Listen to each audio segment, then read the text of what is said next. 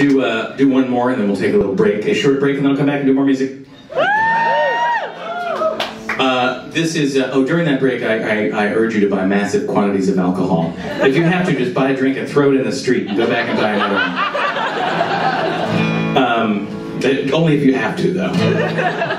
what that means. Uh, this is another popular science song. This uh, this song was written to go with an article about the future of pharmaceuticals, in which it was uh, posited that perhaps in the future we will have such a, a, a uh, complicated and uh, accurate understanding of brain chemistry that we'll be able to feel exactly the way we want to feel all the time simply by taking the right medications.